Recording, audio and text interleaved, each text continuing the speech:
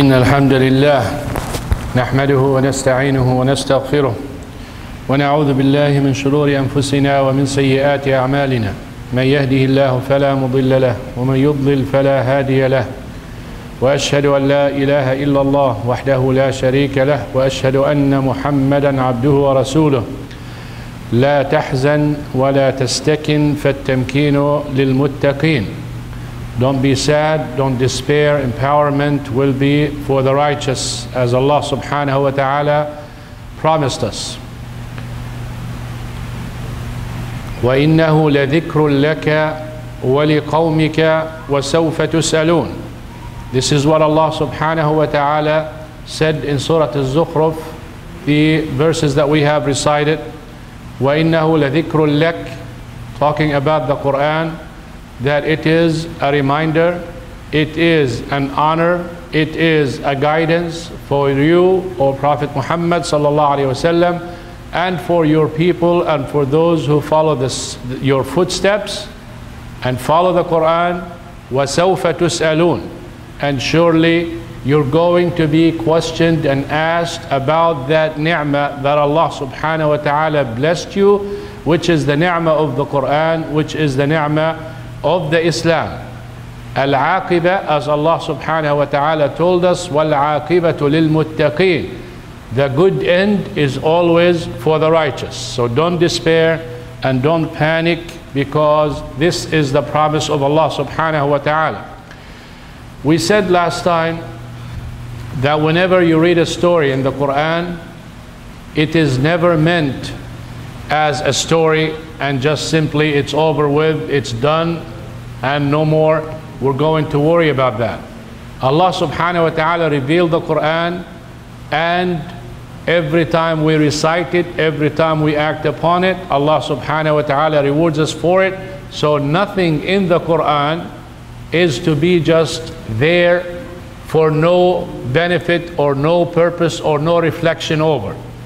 The story of Prophet Musa alayhi salam is one of the stories that describes the nature of the believers and the nature of the disbelievers and the wrongdoers and how Allah subhanahu wa ta'ala tested the believers and how Allah subhanahu wa ta'ala ruined the plans of the disbelievers and the plans of the wrongdoers. Allah subhanahu wa ta'ala said, وأوحينا إلى أم موسى أن أرضعيه he subhanahu wa ta'ala inspired the mother of Musa alayhi salam to nurse him. This is the baby that was born in a time that all the males to be killed command from Fir'aun, all male yani delivered kids or babies to be killed instantly. Only the females will be saved. And here he is, Prophet Musa alayhi salam is born. His mom is worried so much about him. Command, nurse him for a purpose. Nurse him so you can throw him in the river.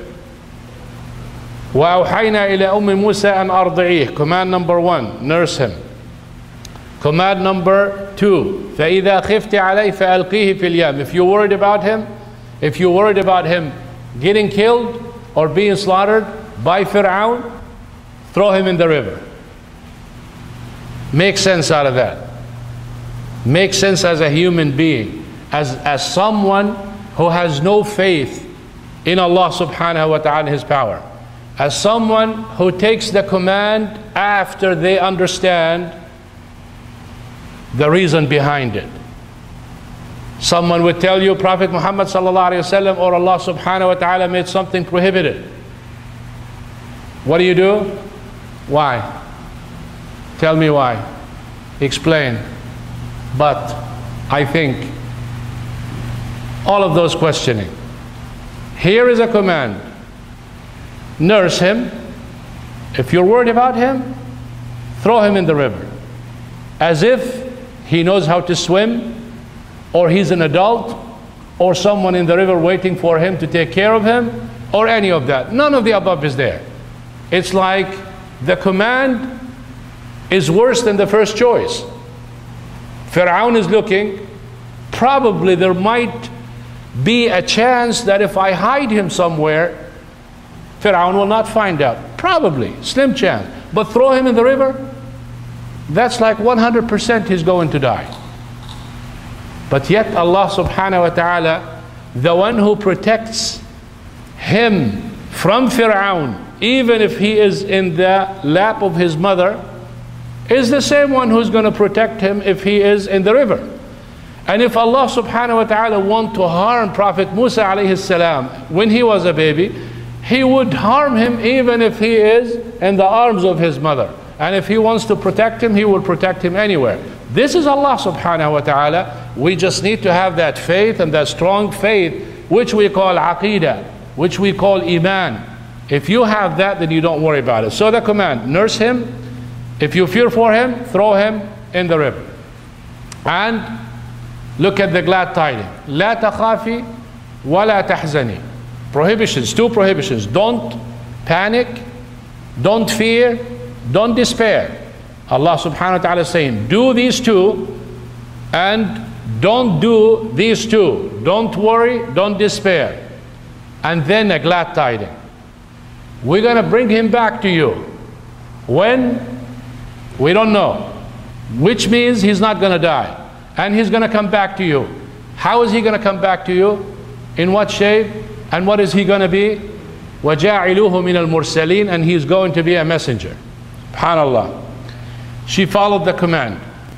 And Allah subhanahu wa ta'ala, the one who controls the wind, the one who controls the river, the one who controls the hearts, destined this little baby to fall in the hand of the person who is looking to kill the baby. Look at the yani, the miracles of Allah subhanahu wa ta'ala. Saved him in the river. The whole purpose is to keep him away from that tyrant. He fell in the hands of that tyrant in his house but the one who subhanahu wa ta'ala controls the hearts put the love of Prophet Musa alayhi salam in the heart of the wife of Fir'aun. And if the wife likes something, as we said before, no husband can stop her from getting it. I don't care how much power you have. I don't care who wears the pants in the family. If the wife wants something, I guarantee you she will get it, one way or the other. Fir'aun, the one who claims he is God he could not win against his wife. What was the result? To be raised in the house of Fir'aun. The one who wants to kill him now is the one who's feeding him. Now the one who's taking care of him. Subhanallah. The mother of Prophet Musa alayhi salam. She had the choice now to nurse him in the castle in the castle, not in her house or her shack or whatever, because they were slaves. People were enslaved by Pharaoh, so they don't have nice places or nice things. She had the choice to be in the castle or to stay at her home and everything will be paid. She will be paid and taking care of her and Prophet Musa alayhi salam when he was a baby and everything from the one who promised to kill every baby. Miracles. We believe in miracles. Allah subhanahu wa ta'ala is the one who's speaking and subhanallah. And look what Allah subhanahu wa ta'ala said. وَنُرِيدُ أَن نَمُنَّ عَلَى الَّذِينَ اسْتُضْعِفُوا فِي الْأَرْضِ وَنَجْعَلَهُمْ أَئِمَّةً We want to bless those people who are oppressed on earth. Those people who are weak, our plan is we want to bless them. Was that it? No. And we're going to make them leaders. وَنَجْعَلَهُمْ أَئِمَّةً leaders from being a slave to being a master. وَنَجْعَلَهُمُ الْوَارِثِينَ And we're going to make him the one who inherit the land. Before, they have to rent, they have to buy, they have no ownership. Now they are in charge and they own everything from those masters. Flip from slave to master, from a person who doesn't own to an ownership. Is that it? وَنُمَكِّنُ لَهُمْ فِي الْأَرْضِ And we're going to affirm them so hard. So those people that they won against, they cannot come back and win against them. No one can win against them because they are empowered and they are established by Allah subhanahu wa ta'ala. And what's the other warning? وَنُرِيَ فِرْعَوْنَ وَجُنُودَهُمَا مَا كَانُوا يَحْذَرُونَ And we're going to show that tyrant, those oppressors, and their soldiers and their supporters, we're going to show them that what they are planning to save or fearing for, we're going to destroy it. Not only we're going to empower those, but we're also going to destroy those. With condition. It's not just like that. Allah subhanahu wa ta'ala قال وعد الله الذين آمنوا منكم وعملوا الصالحات ليستخلفنهم في الأرض كما استخلف الذين من قبلهم a promise from Allah subhanahu wa ta'ala to those who are believing and doing righteous that he will make them inherit the land as he made people before them like Prophet, Fir'a, uh, Prophet Musa alayhi salam. وَلَنُمَكِّنَنَّ لَهُمْ دِينَهُمْ وَلَيُمَكِّنَنَّ لَهُمْ دِينَهُمُ الَّذِي ارْتَضَى لَهُمْ And this religion will be firmly established. The religion of Tawheed, La ilaha illallah. وَلَيُبَدِّلَنَّهُمْ مِنْ بَعْدِ خَوْفِهِمْ أَمْنًا And the fear that they used to have in the weakness that they used to have will be changed to security and peace and safety with a condition يعبدونني لا يشركون بي شيئا to worship me and only me without associating partners this is to tell you the importance of tawheed this is to tell you the danger of shirk this is to tell you how to put the emphasis on that how to work so hard for that to build your life around that we're talking about weak people, and we're talking about strong people, and we're talking about fights, and we're talking about killing and everything, and everything pours into La ilaha illallah or negating that word. All the destruction will be by negating it, and all the affirmation and the empowerment will be by affirming La ilaha illallah Muhammadur Rasulullah. Here is the deal. Prophet Musa alayhi salam and his people, the believers, the believers, after Allah subhanahu wa ta'ala commanded Prophet Musa alayhi salam to leave, those believers who were with him, they were complaining. قالوا أُذِينَا مِن قَبْلِ أَن تَأْتِيَنَا وَمِن بَعْدِ مَا جِئْتَنَا We had a miserable life before you came to us, and it did not change after we followed you, after we became believers. It's still bad life. It's still oppression. It's still, we are not really blessed or happy. This is, picture this. You're talking believers following prophet who is alive among them. Think about us when you find people saying why and why and why and questioning. Look at the answer of Prophet Musa alayhi salam. Look at the patience. Look how he deals with the people. It's not like Oh, really? This is how you talk? How bad your words are. Don't you believe in Allah subhanahu wa ta'ala? And there is no reprimanding, there is no attack, nothing. قال عسى ربكم أن يهلك عدوكم ويستخلفكم في الأرض. Inshallah, Allah subhanahu wa ta'ala, don't worry, He's going to destroy your enemy. And He's going to make you leaders and give you that land is it going to stop there? No. With the same condition.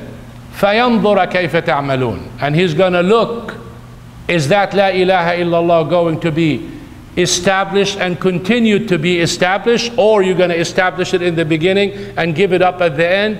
You're going to lose it. If you do that, you're going to lose it. فَيَنْظُرَ وَيَنْظُرَ كَيْفَ تَعْمَلُونَ He's going to observe and watch you, just like the other uh, ayah that I have recited, وَعَدَ اللَّهُ الَّذِينَ آمَنُوا مِنكُمْ Allah subhanahu wa ta'ala said after that, they established the prayer, follow the Prophet Muhammad sallallahu alayhi wasallam, and basically established a religion to continue to have that. Now, Allah subhanahu wa ta'ala is going to give them that with the condition of what? Patience. They have the faith, they have the yaqeen that Prophet Musa alayhi salam promised them or taught them. Now they need the patience to follow the commands and stay away from the prohibitions. Because Allah subhanahu wa ta'ala said in Surah Al-Sajda, وَجَعَلْنَا مِنْهُمْ أئمة يهدون بأمرنا لما صبروا Number one, sabr. وَكَانُوا بِآيَاتِنَا يُوقِنُونَ they have the faith and they have the sabr. If sabr and faith get engaged, get married, what do you end up with? Leadership. The baby will be leadership. So if you have faith, you got to have patience. You can never have faith without patience. You can never have faith without patience even if you are doing something not even Islamic. A disbeliever has to have uh, patience. Allah subhanahu wa ta'ala told us when Luqman alayhi salam was commanding his son, he said, Ya bunay, aqim as-salah, wa'mur bil ma'ruf, wanha anil munkar, wasbir ala ma asabak. Oh my son, establish the prayer because that is the number one thing that proves you know what La ilaha illallah means and you act upon that word. Then enjoin good and forbid evil because if you don't enjoin good and you forbid uh, good and forbid evil, then your faith is not real. It's fake. Where is the love of Allah subhanahu wa ta'ala? If you know He loves this and you can do something about it, how come you don't do it? If you know He hates that and you can stop it, how come you don't do anything about it? What kind of love is this? So, prayer, enjoin good, forbid evil, have patience. Same way. What happened to those followers of Prophet Musa alayhi salam? Eventually Allah subhanahu wa ta'ala said, وأورثنا القوم الذين كانوا يستضعفون مشارق الأرض ومغاربها التي باركنا فيها وتمت كلمة ربك الحسنى على بني إسرائيل Allah subhanahu wa ta'ala said, We have made the group of believers who followed Prophet Musa alayhi salam, who were weak and oppressed and enslaved, we made them inherit the whole land, west and east, the blessed land, west and east. And Allah subhanahu wa ta'ala fulfilled His promise and His word. وَتَمَّتْ كَلِمَةُ رَبِّكَ الْحُسْنَى عَلَى بَنِي إِسْرَائِيل And what is that kalima? And this promise is to, the first part is to make them leaders and make the land theirs. The second part, to destroy Fir'aun, right? ودمرنا ما كان يصنع فرعون وقومه وما كانوا يعرشون and indeed we have demolished we have destroyed everything Fir'aun and his people used to build and everything that they used to cultivate and do this is the story of Prophet Musa alayhi salam how can we do something about ourselves and our situations number one fearing Allah subhanahu wa ta'ala fearing Allah. Allah subhanahu wa ta'ala talked about the messengers. He said, الذين يبلغون رسالات الله ويخشونه ولا يخشون أحدا إلا الله. Those who deliver the messages and the commands of Allah subhanahu wa ta'ala and fear Him and they don't fear anyone but Allah subhanahu wa ta'ala. If this is talking about the messengers, it's talking about us because we are the followers of the messengers and when the messengers die, the followers keep the message alive. ألا فليبلغ منكم الشاهد الغائب. The one who's present, let him pass the message to the one who is not present. Allah subhanahu wa ta'ala told us that is number one. The fear of Allah subhanahu wa ta'ala makes you fulfill the commands and makes you stay away from the prohibitions. That's number one for empowerment. Number two, loving Allah subhanahu wa ta'ala. I love Allah subhanahu wa ta'ala because I know He loves me. I have no doubt that He loves me. He created me to start with. He made me a Muslim.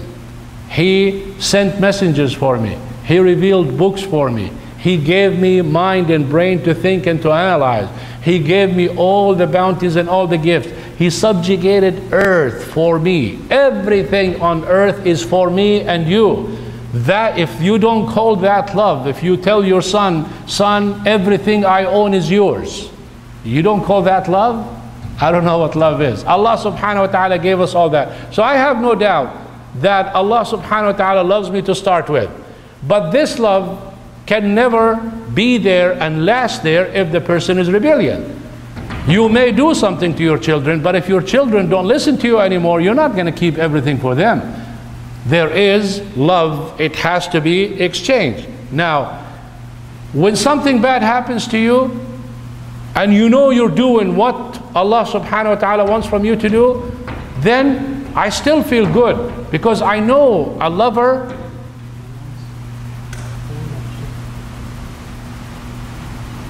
I know a lover will not harm the person he loves.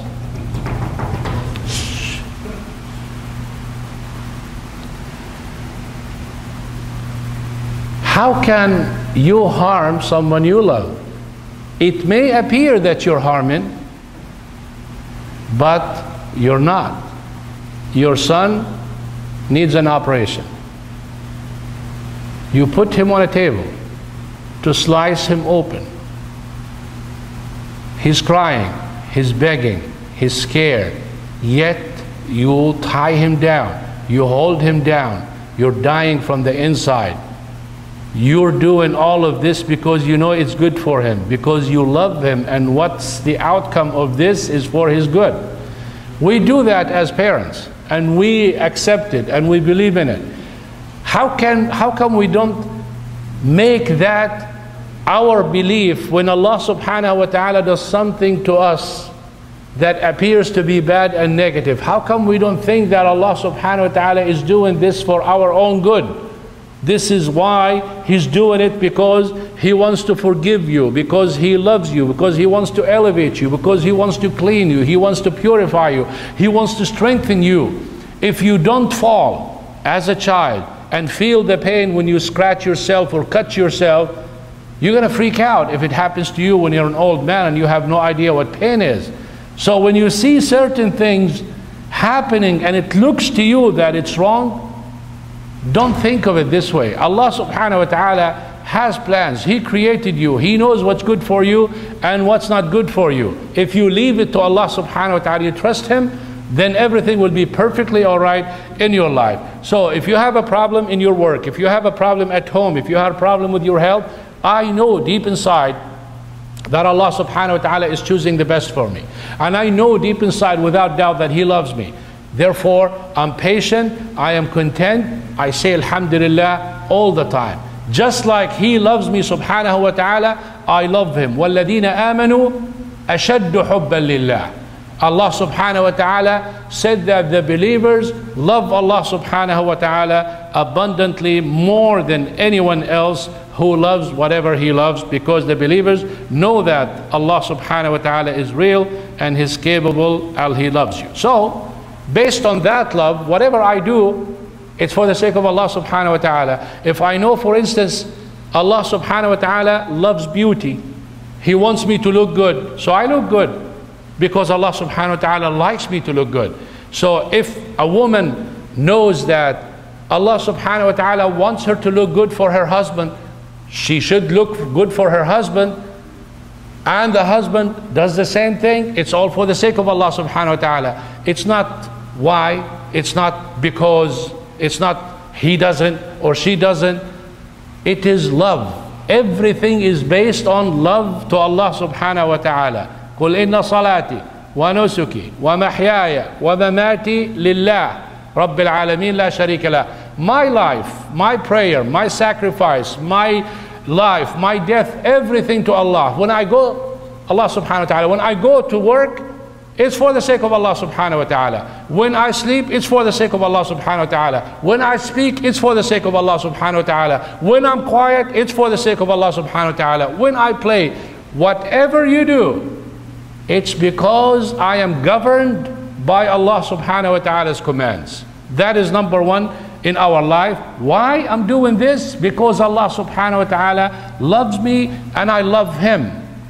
And the real love is, the definition of real love is to do what your lover loves even if you hate it. Again, to do what your lover loves, even if you hate it. Most of us do how? It's because they like. You know, your wife asks you, for instance, can you uh, go to the store and get me something? Uh, you don't have much to do, and uh, your life is so wonderful, and uh, you're not sick, you're not tired, nothing. Say, oh, sure, yeah, I'll go ahead. And you go do it. Sometime you're coming from work, and you're tired, you drop everything. She asks you, can you please go get me something? I don't know, now you come in asking me. You call that love? Even if it's justifiable, it's not love. Love is to do what your lover loves or likes, even if you don't like it you would control yourself and you would remember that she is your wife and she is asking you for something and she likes that thing to happen and she realizes that you are tired and everything, you go and you do it. Just like waking up at Fajr time. You know Allah subhanahu wa ta'ala loves that time. And you know it is the time that He rewards the most for. So I am sleepy, but I love Allah subhanahu wa ta'ala more than my sleep, so I wake up. I fast during summer. Yes, it's a long hours. Yes, I work hard. Yes, it's very difficult. But Allah subhanahu wa ta'ala loves it and He ordained it, so I fast and I don't complain because I love Allah subhanahu wa ta'ala. That's the true love. Third one, tawakkul. Rely on Allah subhanahu wa ta'ala. How much do you rely on Allah subhanahu wa ta'ala? This is something that we can we should feel from Prophet Nuh alayhi salam, his story. قال يا قوم إن كان كبر عليكم مقامي وتذكيري بآيات الله فعلى الله توكلت. He said, well, if, if, if you feel that all my admonitions and all my advices and everything, you see it in the wrong way and you don't like it, and you going to kill me and harm me and do all of those things, fine. Do what you want because I'm relying on Allah subhanahu wa ta'ala. And here is the challenge. فأجمعوا أمركم وشركاءكم gather all of your soldiers, all of your power and everything. ثم لا يكن عليكم أمركم غمة. Then don't make it secret. Make it public. I'm not worried because I'm relying on Allah subhanahu wa ta'ala. Then judge and do whatever you want to do. Biggest challenge from one man, from Prophet Nuh alayhi salam to the entire world at that time. And what was the result? When he relied on Allah subhanahu wa ta'ala, قلنا يا أرض ابلعي ماءك ويا سماء أقلعي وغيض الماء وقضي الأمر واستوت على الجودي وقيل بعدا للقوم الظالمين the flood and everything, a ship going through flood, the, the, the, the, the wave is like mountains. Mountains, and no ship is going to sail in this. But tajri bi'ayunina, the supervision of Allah subhanahu wa ta'ala, the watchful eye of Allah subhanahu wa ta'ala was with it all the way. And then this rain that came from the sky and this water that gushed from earth, Allah subhanahu wa ta'ala command, stop, swallow. Ship on top of a mountain. Where is everybody? Anybody home? Zero inhabitants on earth except those on the ship. That is what tawakkul on Allah subhanahu wa ta'ala does. Believe in al-qada wal-qadr, the fourth one. Believe in the predestiny, what Allah subhanahu wa ta'ala wrote for you. I want you to know that Allah subhanahu wa ta'ala is capable of doing anything He wants. He's merciful, but He is capable of punishing you if He wants, of giving you whatever you want, if He wants, if you deserve. So if you're lacking something, don't ever say, oh, the doctor told me there is 10% chance of life. Okay, they say, well, this is factual. It's based on, okay, that's fine. I'm not going to say, no, they're liars, they're horrible. No, I'll take the word of the doctor, but the word of Allah subhanahu wa ta'ala is bigger than that. And on top of that, if there is 10% chance of life, I'm going to hold on to that 10% and build hope on that from Allah subhanahu wa ta'ala and see that Allah subhanahu wa ta'ala is capable to reverse everything and make the person healthy. This is faith. This is faith and this is what we call believing in qada wal qadar if the time of that person is going to come, It's going to come. Even if the doctor tells you 100% chance of success, you end up dead. Right or wrong? How many times the, the, the, the doctors would guarantee you an operation, successful operation, you end up the complete opposite? A lot. And how many times people would tell them that there is possibility of life and they come alive because إذا جاء أجلهم لا يستأخرون ساعة ولا يستقدمون. When time comes, no doctor, no human being, no jinn, no one can stop the command. If time comes, it will come. If we have that belief in qada and qadar, what Allah subhanahu wa ta'ala already wrote for us. He gave us the life and He told us when we're going to be born and how long we're going to live and what's our sustenance is. Believe in that. Believe in that and act upon that, and that's what makes you, inshallah, successful human being. Focus on that day of judgment. Number five. Focus on the hereafter. We're not living here forever. If you are moving, if, if your job puts you in another state or in another country for one month, you're not going to look for real estate there and buy a home and invest in companies and all of that. If someone tells you, man, you got good opportunities here, it's flourishing, mashallah. You go, no, akhi, I'm, I'm leaving after one month. Why do I have to do all of this? My home is in Irving. Logical and someone comes and tells you, Ya give for the sake of Allah subhanahu wa ta'ala. Ya be good. Ya control yourself. Ya believe in Allah subhanahu wa ta'ala and the promise of Allah subhanahu wa ta'ala. There is a day of judgment. You're not going to live forever. There is something after that. Focus on that. When one person was asking a sheikh, why when people are reminded of death, they don't like it. You know what his answer was? عمروا دنياهم وخربوا أخراهم they have fixed and beautified this worldly life and they have ruined and destroyed and did not do anything for the hereafter life فكرهوا أن يخرجوا من الخراب من العمران إلى الخراب so they hated to move from something that is so beautiful and so taken care of to something that is completely destruction because they did not work for the hereafter. So focus on the hereafter. If you want this dunya, how much you going to get? Anyone can guess? What's written for you? That's a condition before that. Believe in qada wal qadar. What's written for you, you're going to get it. And you're not going to get it all. I mean, this world, you're not going to get it all. Allah subhanahu wa ta'ala may give you a, a wife, but, I mean, a righteous wife, but evil kids. He might give you a righteous wife, no kids. He might give you beautiful kids, beautiful wife, no job or no not much money to live on. He might give you lots of money, lots of children, good wife, bad health. You're sick. So you cannot have it good from all ways if you're focusing in this world. Now if you're focusing on the hereafter and you have any of those problems, it will not bother you. Because you know Allah subhanahu wa ta'ala loves you. Go back to that rule. He loves me so whatever he is doing. So I am sick and I don't have the best job and I don't have this, but I feel content. I'm happy because I know Allah subhanahu wa ta'ala loves me and He had chosen this life for me because it is better for me. Because maybe if He makes me a rich person, I'll become evil. If you're a millionaire, don't you think that's a test? I mean, you want to enjoy your life, and it's not haram. But what are you going to enjoy in this life that is not haram? Where are you going to go? What are you going to do? Where? Name a place that you can really, really go have fun without bear, being buried in haram. Where? Every time I think of a vacation, I can't find one. I can't, especially nowadays. Evil is everywhere. ظهر الفساد في البر والبحر بما كسبت أيدي الناس. Evil is everywhere because of our actions. You want Allah subhanahu wa ta'ala to empower you. You want Allah subhanahu wa ta'ala to take care of you. You want Allah subhanahu wa ta'ala to make you leaders and make you inherit the land.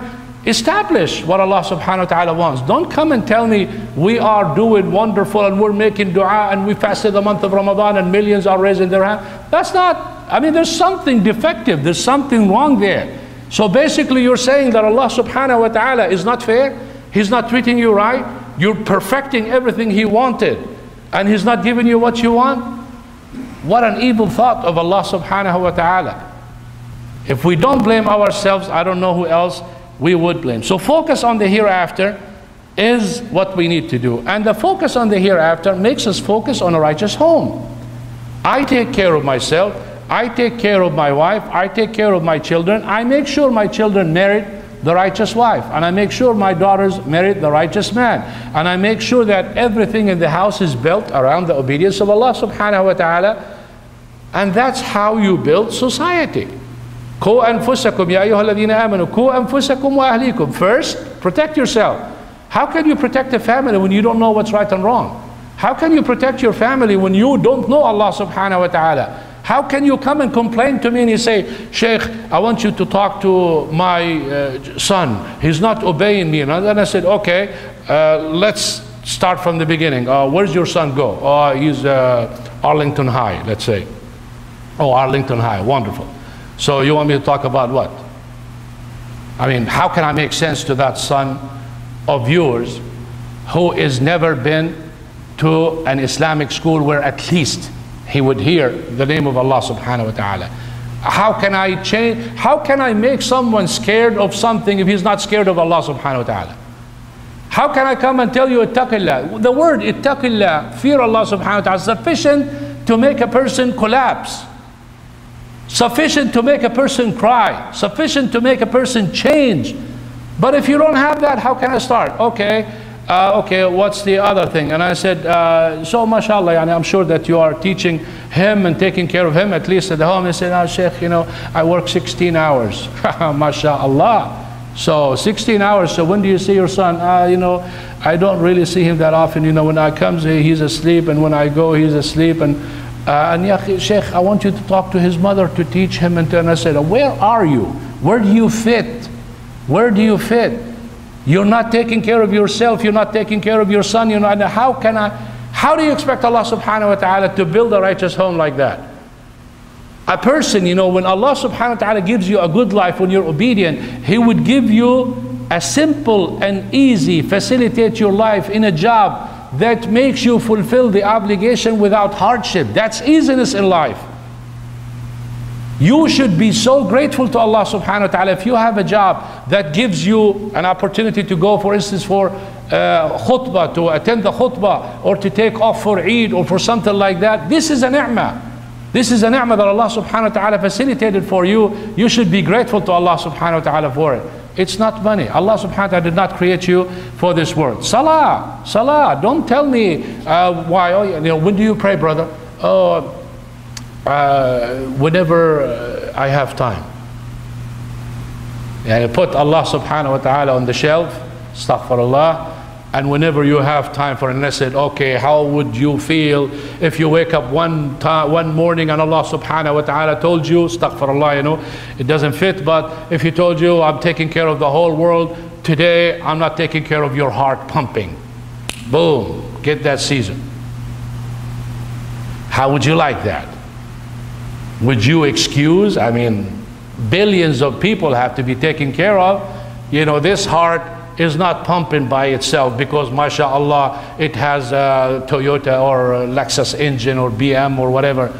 Uh, it is pumping with Allah subhanahu wa ta'ala's command. Flesh, flesh pumps thousands and thousands of liters of blood for 70, 80, 100 years, 900 years before. What kind of power is this? What kind of God is this? What kind of creation is this? We don't reflect about that. And when it comes to salah, when you have time, you will pray. Or some cute ones will say, when I go home, I pray all the prayers because Sheikh, in my work, I cannot pray. There is no place to pray. I leave that job. You want to be a leader? Obey the ruler. Then he will make you a leader. Without him, you're going to keep going down, down, down, even if you raise your hand as high as the sky. It's not going to happen, and that is the answer to anyone who's looking for empowerment. I would say something, brothers and sisters, in conclusion with this If we reflect on the Quran, we understand the ayat that I have recited today in Surah Al-Zukhruf. فَإِمَّا نَذْهَبَنَّ بِكَ فَإِنَّا مِنْهُمْ مُنْتَقِمُونَ Allah subhanahu wa ta'ala told Prophet Muhammad alayhi salam, if we take you, yani you die, we're gonna venge you. We're gonna punish them and take care of those people who are mistreating you. Or أو نرينك الذي وعدناهم or we're going to show you what we promised we will do to them because we can فإنا عليهم مقتدرون but whether we take you and whether we punish them and whether we show you that or we don't it's not up to you what's the question فاستمسك بالذي أوحي إليك the command is hold fast to that Quran. That's your job. That's what you created for. Don't worry about what I do to other people or even do to you. Your job is to hold fast to that Quran. And the Quran told you, if you do good, I'll take care of you. And if you don't, I will do the following to you. You know all of that. So your job, follow and let Allah subhanahu wa ta'ala decide. Just like you are in a country and the president is the one who finally decides war or no war. You want to go to war, he wants to go to war, everybody wants to go to war, but the final decision is for the president to declare war. So all of us, we wait for that. We accept it in a level, human level, and we don't accept that Allah subhanahu wa ta'ala is the one to destroy or to empower, and that is the lack of our faith. So you hold fast to that, and Allah subhanahu wa ta'ala left it with that. فَاسْتَمْسِكْ بِالَّذِي أُوحِيَ إِلَيْكَ And this is my final advice to you. You want to not worry.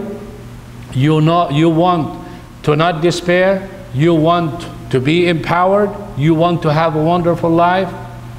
Hold fast to this religion hold fast to the Quran and go straight and inshallah you would live a wonderful life at home, outside home, in your country until you die. That's the promise of Allah subhanahu wa ta'ala and we all believe that Allah subhanahu wa ta'ala fulfills His promise. We have no doubt in that. We ask Allah subhanahu wa ta'ala to make us from those who are steadfast in good and in bad. It's not like when something bad happens, you flip. Allah subhanahu wa ta'ala told us, وَمِنَ النَّاسِ مَن يَعْبُدُ اللَّهَ عَلَى حَرْفٍ He's on the edge. Some people, he is standing right here at the edge of that table. على حرف فإن أصابه خير when good thing happens to him life is wonderful how are you brother Alhamdulillah, Alhamdulillah, it can never be better than this. وَإِنْ أَصَابَتْهُ فِتْنَةٌ If something bad, انقلب على somersault.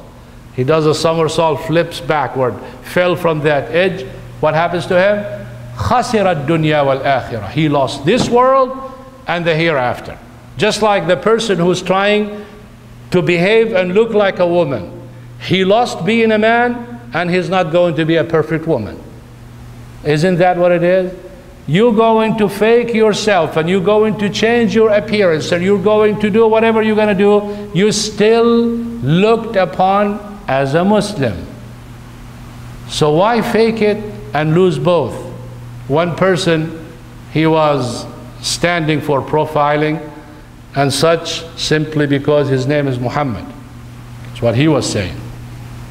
So he was complaining. He said, I have nothing to do with Islam. I have nothing. And, you know, and one person behind him told him, You may have nothing to do with Islam, but your name says it all. So you're not accepted here, and you're not accepted here. You lost both. And I say, hold fast to the religion, know that you're going to die, and when you die, at least you have something to look forward to. This life is short. You can die before you exit from here. You can have an accident as soon as you get in your car. You may sleep and never wake up. Stamsik billadhi uhiya ilayk. Hold fast to the revelation, to the Quran, to the Sunnah, and always breathe La ilaha illallah Muhammadur Rasulullah. Talk about it, teach it, learn it, understand it. This is the way, and that's the only way. May Allah subhanahu wa ta'ala make us live on La ilaha illallah, die on La ilaha illallah, resurrect on La ilaha illallah.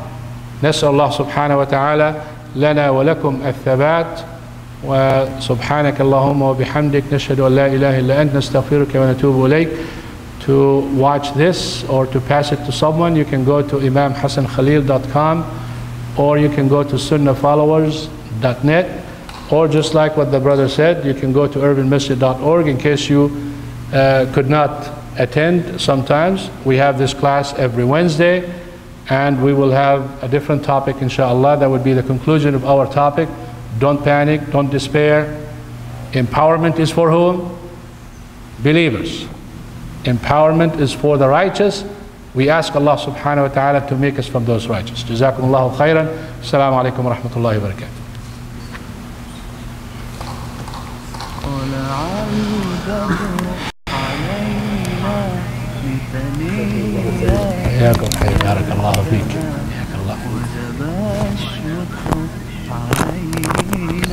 وعليكم السلام ورحمة الله وبركاته أيها المبعوث فينا جئت بالأمر المطاع جئت شرفت المدينة مرحبا يا خير ذا